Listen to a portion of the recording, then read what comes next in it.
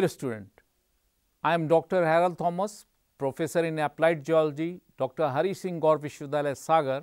Today, in this course, I will deliver my lecture on lithification and diagenesis.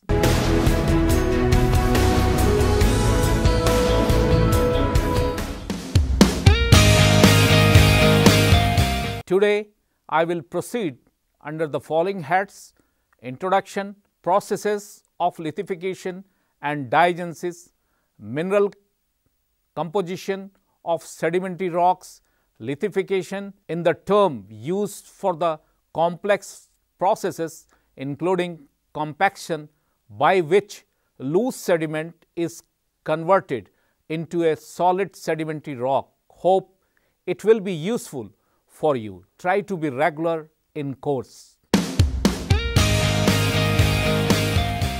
Sedimentary rocks formed by accumulation, compaction and consolidation of sediments. The sediments may be defined as particles produced from the decay and weathering of pre-existing rocks or may be derived from remains of dead sea or land animals in suitable environments.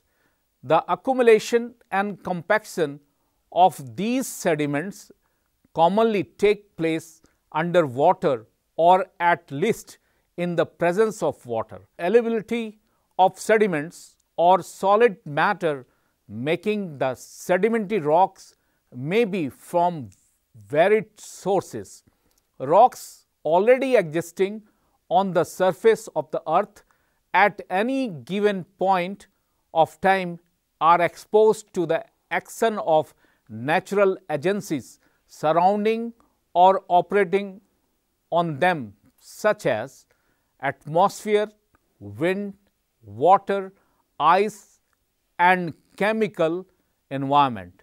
The net result is breakdown of these rocks into the smaller and still smaller parts. These sediments are transported to varying distance and finally deposited in suitable basin, large depression on the body of the earth such as sea and ocean floor, lakes and rivers bed.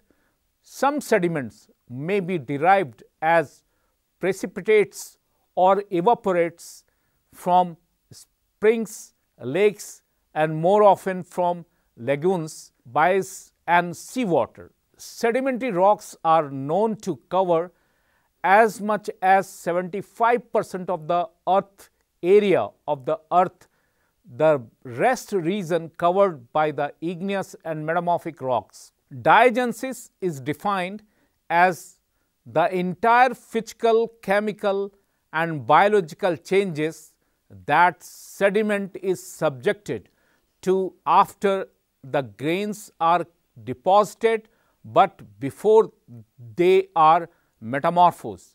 Some of these changes occur at the water sediments interface and, and are termed as halmyrolysis, but the bulk of diagenetic activities take place after burial.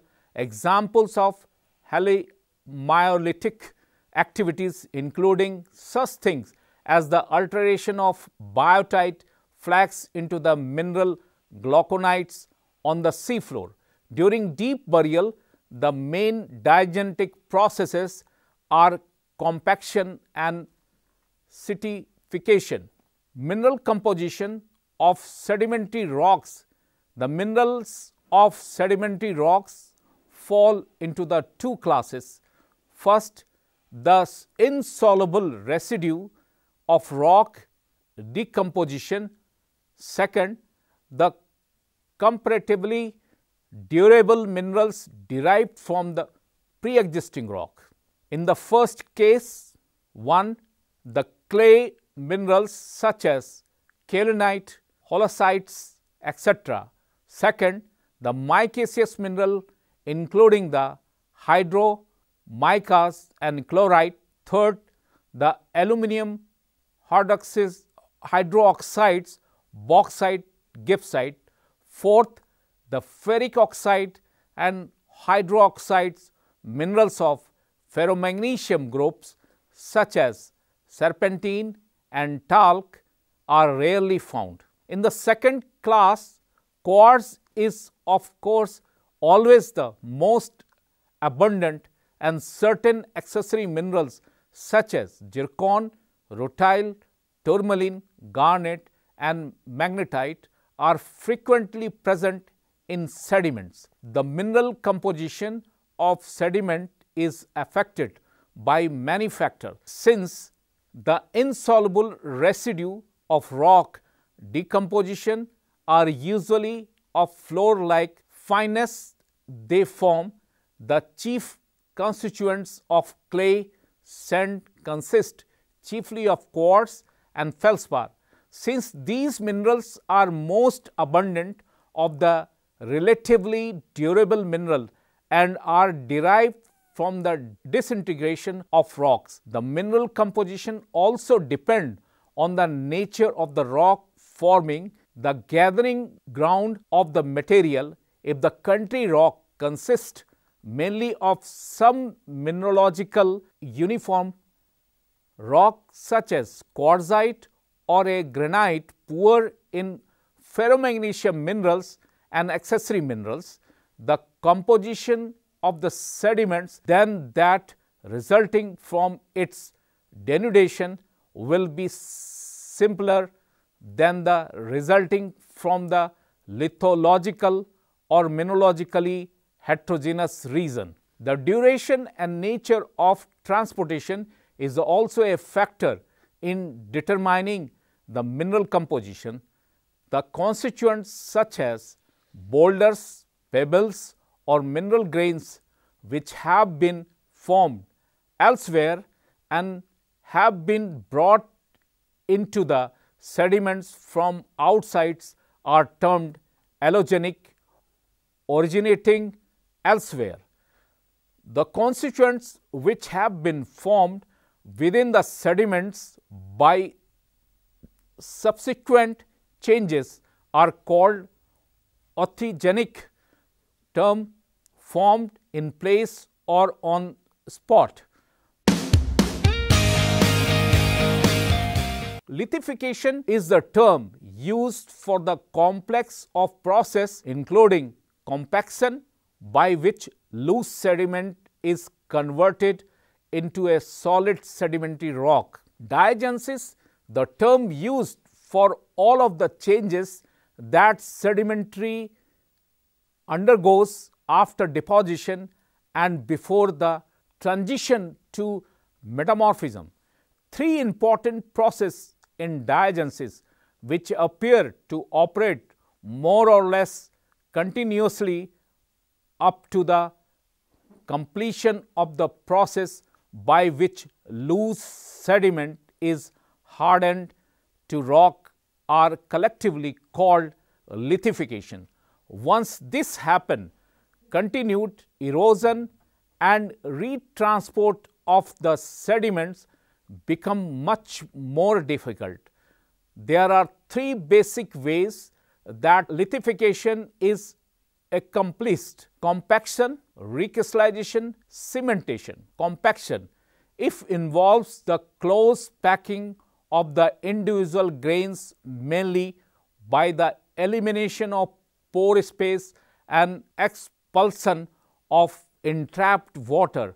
This is normally brought about by the weight of the O-length sediments, the amount of compaction of freshly deposited sand depend on five factors clay content, sorting, percentage of the ductile fragments, angularity of the non-ductile grains and burial depth or tectonic stresses. Compaction is a more effective process in sandstone.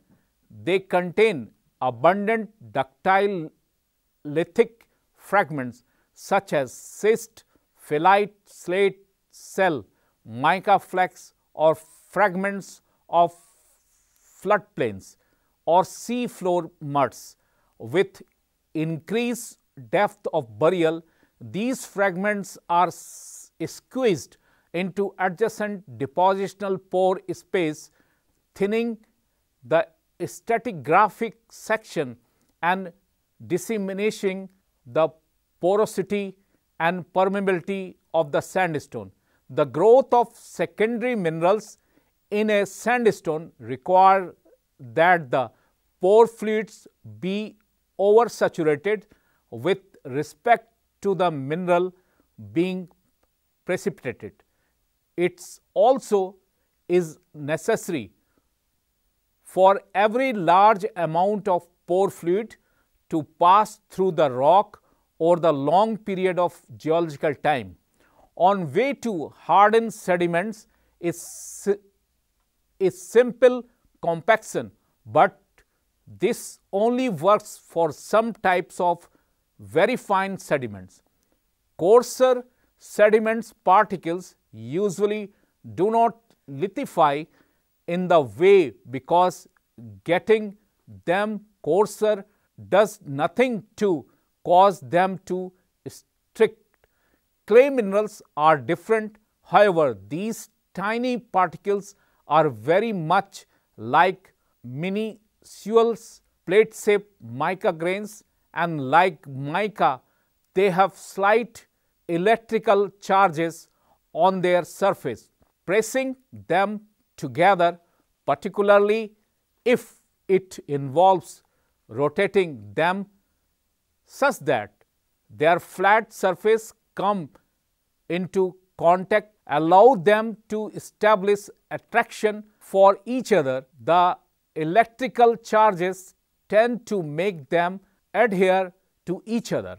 As with van bonds, however, the attraction is not terribly strong and sediments lithified in the way are generally not particularly resistant to the subsequent erosion. Recrystallization, a second natural method of lithifying sediment is by recrystallization of some or all of the constituents mineral.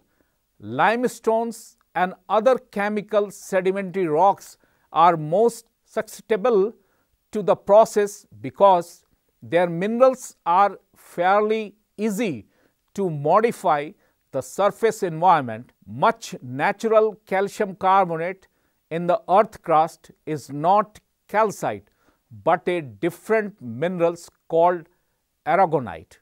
Aragonite takes up less volume per molecules than calcite. It is not rarely stable in fresh water. So, once rainwater comes into the contact with it, it changes into calcite. Crystal grow larger because of this transformation and tend to and tend to mass themselves together as they do so.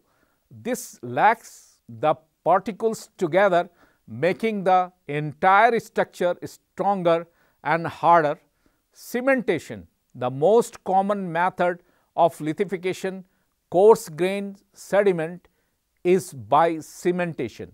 Sedimentary particles are deposited in contact with each other, but there is also a certain amount of empty space in piles of sediment as water carrying dissolved ions fills in that empty space, the ions may crystallize new minerals between the grains. In the process of growth, these newly forming crystal become enmeshed with each other as we saw in recrystallization and the result is once again a more cohesive harder mass form the original loose sediments.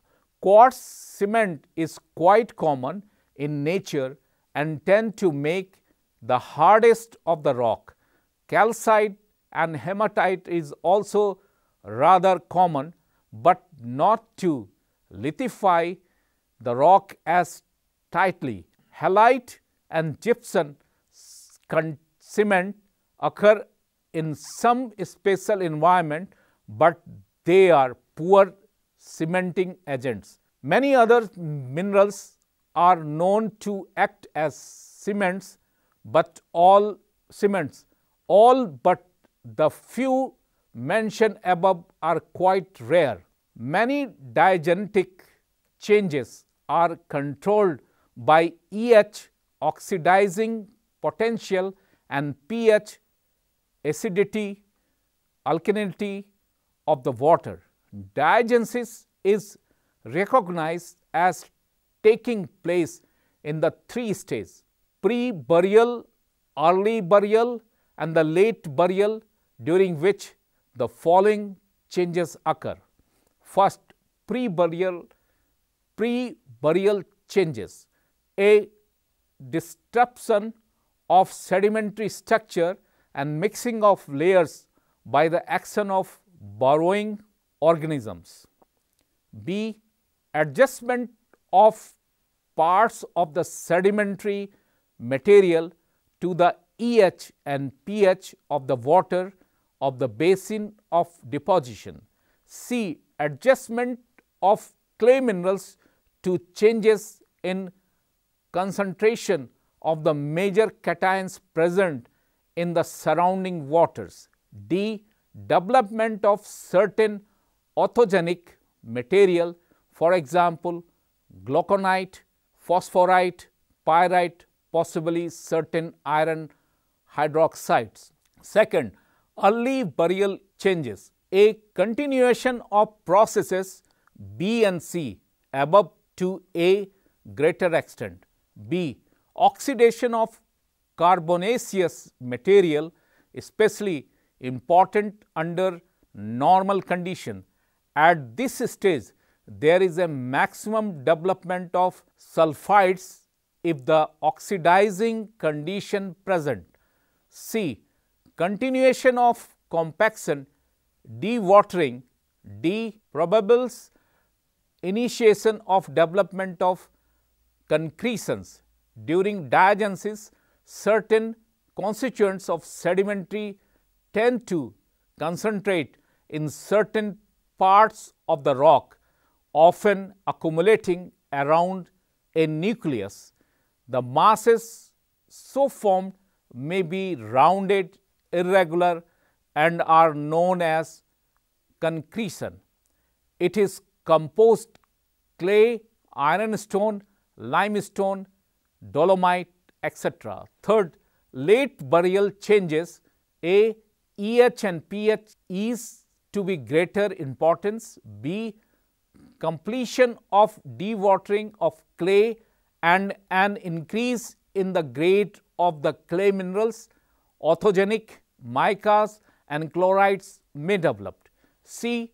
Completion of development of concretion and cementation processes. D. Replacement of aragonite by calcite. Dolomitization is an important factor for the diagenesis of carbonaceous sediments. Qualification is essentially a diagenetic processes. E. They include compaction, deformation, dissolution, cementation, authigenesis, replacement, recrystallization, hydration, bacterial action and development of concretion. F. A great variety of clastic and non-clastic sediment is deposited in capes in both warts and phenolitic environment. Over time, these sediments are transformed into well endurate rocks. Lithification and diagenesis in caves take place under generally stable temperature and pressure condition with highly variable water tables and abundant dissolved calcium carbonate. The crucial element in lithification is close and intimate contact between adjacent grains.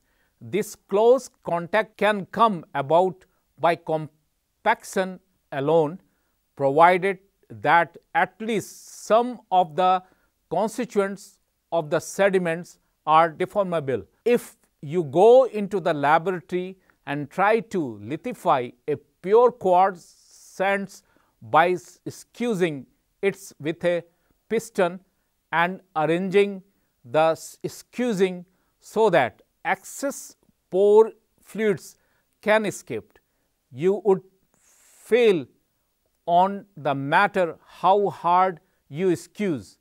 The sand always loose if however you include some soft rocks fragments you would end up with an at least particularly lithified material. It would not fall apart readily in your hands. To arrive at a more thoroughly lithified rock, you would need more than just compaction. You need cementation whereby grain contacts are made more extensive by precipitation of lithogenic minerals material around the original grains of the sediments. You have been that this come about in variety of ways pressure, solution, deposition of cements or recrystallization of the existing mineral constituents. Commonly, more than one of these processes is at work to lithify sediments during burial. The study of diagenesis continues to be an active field of research in sedimentary geology. There are different type of diagenesis following are the different type of diagenesis. Diagenesis of fine grained sediments, the shallowest diagenetic zone is one of the oxygenation. It is very thin or absent in the deposited fine grained sediments in water. In continental environment like ephemeral lakes on the playas, however, subaqueous mud deposited may be followed by long period of dehydration while muds remain above the water table. In such situation, organic matter may be oxidized and removed. Iron may be precipitated as limonite and then become dehydrated to hematite. A red ferric oxide, the term limonite is a general term for mixture of hydrous ferric oxide most commonly the mineral goethite, but also others. Often hematite develops during initial burial forming deposit commonly referred to as red beds. A diagenesis of volcanoclastic sediments, fine grained volcanic ash tend to undergo intense post depositional alteration producing bentonites. Bentonites are mixture of hematite and devitrified glass. Palagonite is produced during the alteration and dehydration of volcanic glass. Volcanic clastic sands may have good porosity if they are deposited on beaches or dunes. They lose porosity extensively quickly through because of their unstable mineralogy during shallow burial they undergo hydration leading to the formation of authigenic carbonates, clay and zeolite minerals. Zeolites are a class of hydrous aluminosilicate minerals. Thus, volcanoclastic rocks are generally very poor quality aquifers or petroleum reservoirs. B. Sandstone diagenesis. Unlike in fine grained sediments, in sandstone the effect of physical compaction is subordinates to chemical cementation. Thus, the loss of porosity with depth is often not as a predictable as it is in the case of fine grained sediments. The diagenetic history of sandstone is controlled principally by the chemistry of the pore fluids that have moved through its pore system. The main factors that determine mineral precipitation or solution are the chemistry of the sediments and the composition, concentration, EH and pH of the pore fluids. Although many reactions occur during sandstone diagenesis, only few are of major importance in sandstone cementation and porosity evolution, those that control the precipitation of silica, carbonates and clay minerals. C. Limestone diagenesis. Limestone formed on the carbonate platform are particularly susceptible to the drastic early diagenetic modification. Marine carbonate sediments consisting of metastable carbonate phases like aragonites and magnesium calcite. They are easily dissolved and recrystallized by fresh meteoric water or mixture of meteoric and marine waters. They are encountered in surface and shallow surface condition because carbonate platform can be maintained near sea level for extended period. The possibility of freshwater flushing of the platform with attendant massive diagenesis is significant.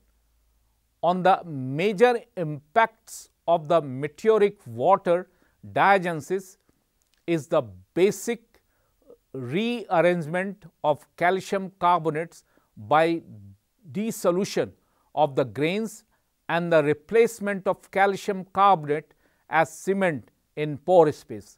There is a tendency for primary porosity in carbonates subsequent to be destroyed early by cementation with subsequent generation of secondary porosity during the dissolution phases.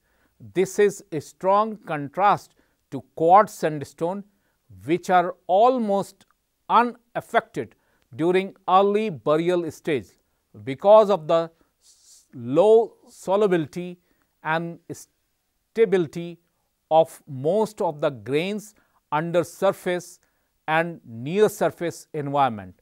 Carbonates not extensively altered during early diagenesis are particularly susceptible to chemical processes like grain to grain pressure solution.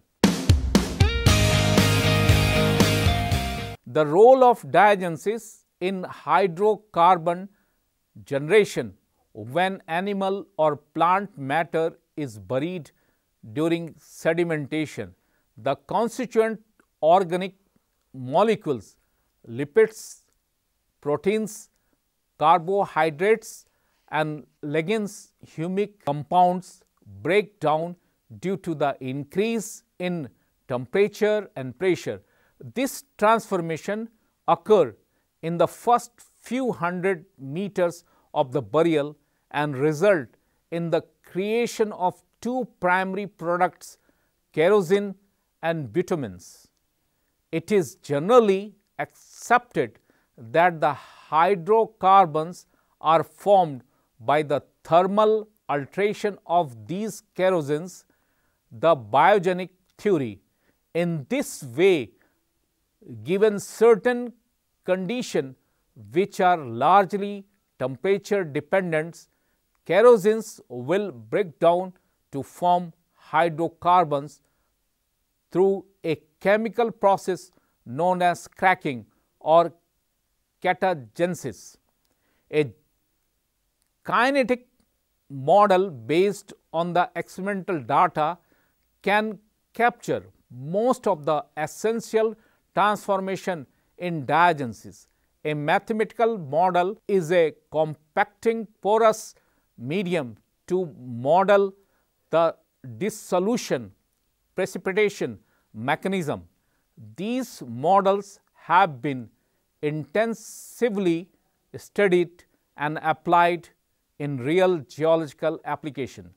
Diagenesis is has been divided based on hydrocarbons and coal genesis into eodiagenesis middle and telodiagenesis late during the early or eodiagenesis stage cell lose pore water elite to no hydrocarbons are formed and coal varies between lignite and subbituminous during mesodiagenesis. Dehydration of clay minerals occur the main development of oil genesis occurring and high to low volatile bituminous coals are formed during talogenesis organic matter undergoes cracking and dry gas is produced. Semi anthracite coals develop. Petrography of lithified cave sediments. Lithified cave sediments occur in paleokarst deposit, relict caves and caves without roof. Lithification and diagenesis can transform the whole range of cave deposit into indurate rocks. These often contain fossils and are subsequently misidentified as flowstone. Vadose lithification and diagenesis in vadose condition crystallization deposit undergoes significant recrystallization involving extensive cannibalization of small crystal and loss of depositional texture. Primary cavities are frequently filled with dews while secondary cavities may be formed and later filled with dews. Meniscus cement is deposited in coarser clastic with stable grains such as sand, frost, wedding breccia and bone breccia. Vadose water spacing through purely sorted entrance facies deposited will both deposit spar and flush out some of the fine. This process can result in petals and clutches like textures and may if continued over a significant period replace much of the silt and clay with secondary spar. Phreatic lithification and diagenesis in phreatic condition, acicular cements are frequently deposited in capes clastic. These often undergo neomorphic changes to blocky spar, marine carbonates, sands and muds deposited in capes flooded by the sea frequently res resemble normal limestone. Cave muds deposit impounded cast and then lithified resemble carbonates rich siltstone and mudstone. Lithified muds deposited in hollow crust and frequently difficult to distinguish from laminated marine mudstone. Lithification of entrance facies. Entrance facies are generally poorly sorted and frequently looses packed. This loose packing allow vadose seepage water to percolate through the matrix and deposited a complex range of cements including block, spar, fibrous calcite and clashes like cements. Lithification of clastic lithified cave clastic resembles sedimentary rocks deposited in familiar fluvial environment. These preserve a range of textures and sedimentary structures. The features common to most, but not all lithified Capes clastic is the overwhelming presence of carbonate cements. Lithification is a process of porosity destruction through compaction and cementation. Lithification includes all the process which convert unconsolidated sediments into sedimentary rocks. In geology, consolidation are a synonymous for lithification. Diagenesis refer to process that lithifies sediments or makes them into a solid sedimentary rock. It may occur at or very near surface, but more commonly occur after sediments are buried. All chemical, physical, biological changes that take place after sediments are deposited uh, and during and after lithification changes in the sediments due to increased heat, pressure and circulating groundwater. Diagenesis is defined as the entire physical, chemical and biological changes that sediment is subjected to after the grains are deposited and before they are metamorphosed. Some of these changes occur at the water sediments interface and formed as halmyrolysis, but the bulk composition of diagenetic activities take place after burial. Example of halmyrolytic activities including such things as the alteration of biotite flakes into the mineral glauconite on the sea floor. During deep burial, the grain diagenetic processes are compacting and certification. For further studies, please read the textbook references and links given in the text. Thank you very much.